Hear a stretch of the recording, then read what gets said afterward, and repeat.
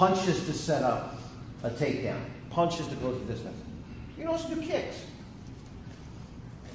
So there's two, two really easy, there's tons of them, right? But the two easiest ones, right? I throw that right leg kick. One of my favorite kicks on it. I kick in the leg, it's gonna hurt, right? So, kick, normally I say come back, right? Because you don't want to leave it hanging out there, you know, this counter. But if I back and then spring it, okay? I'm not doing anything else, just looking at the footwork.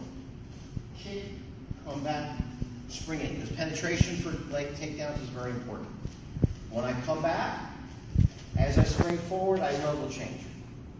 So I leg kick, he's thinking, oh shit, and then kick, come back. Or you get a chance to think about it, right?